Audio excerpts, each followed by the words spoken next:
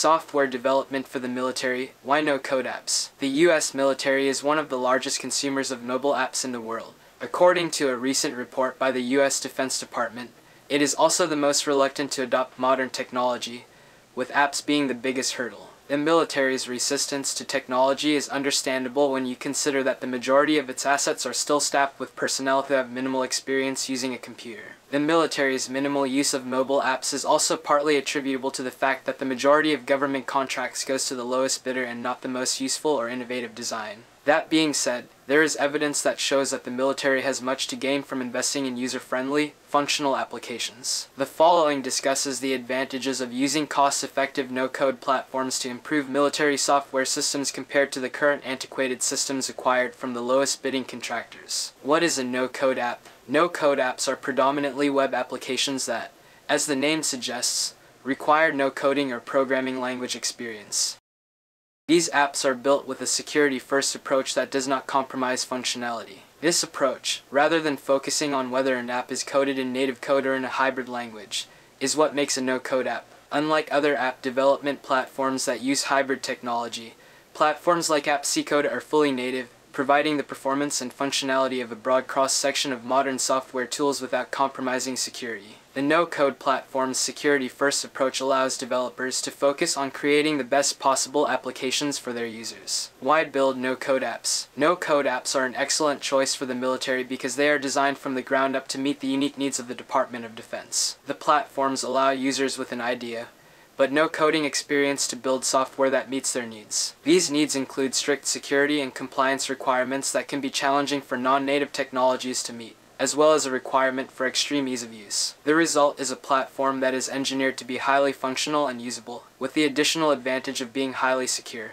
The military contract acquisition process. Perhaps the most significant advantage of using a no-code app development platform is the internal savings generated by its internal development process. No-code platform are fully native, allowing developers to focus on creating the best possible applications for their users. This approach is in stark contrast to hybrid development platforms like Ionic, which are forced to build features in hybrid code to meet the performance requirements of increasingly demanding hardware. This hybrid approach comes at a high cost in expertise requirements, time, and money, which is why it is seldom used for military projects. Since no-code apps are fully native, Internal development is significantly faster and more affordable than hybrid technologies. That is because native code is less code, requiring less time and money to develop.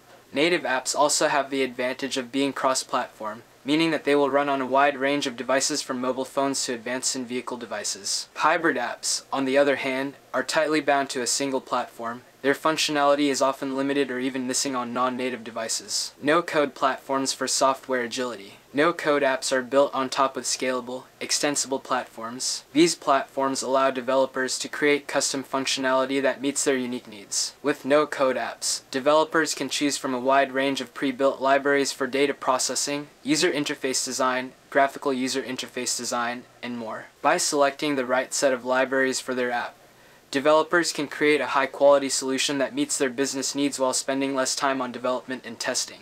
This software agility enables developers to create apps that can grow with their organization, responding to the changing needs of their end users. As an example, no-code apps are ideal for creating digital services that allow users to get access to information across a wide range of government functions. How much does it cost to build no-code apps? This cost advantage stems from the fact that no-code apps are built on scalable platforms. Since these platforms are built using freely available open source software, the cost of developing a no-code app is driven by the effort and expertise of the developer. The same applies to the app's complexity.